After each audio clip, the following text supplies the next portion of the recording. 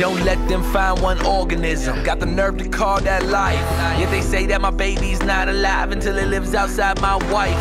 But the church stay complacent, walking with the world adjacent. I guess it's more important to talk about the Illuminati and Masons. Tell me if that ain't no baby though, then why am I buying these baby clothes? And why am I buying this baby shampoo to wash my little baby's fro? They want us to conform, but daddy said to never lie. The truth will set you free. Why are we looking for life on Mars?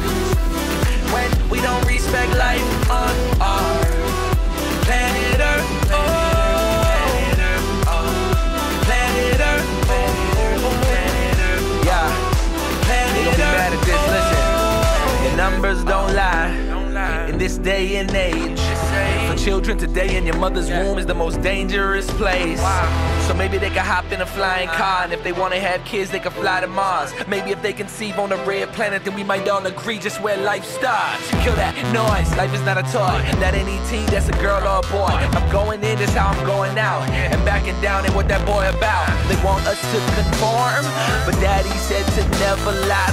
The truth set you free. Why are we looking for life on Mars? When we don't respect life on our planet Earth. Planet Earth. Planet Earth. Yeah. So why we living right here on planet Earth? Uh? Tell y'all what this life is really worth. Uh?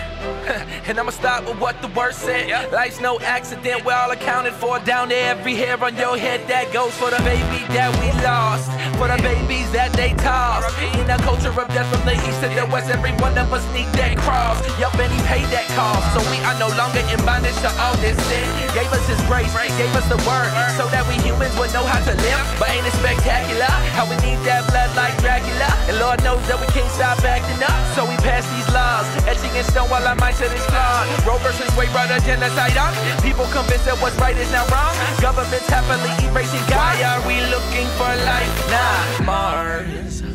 When we don't respect life on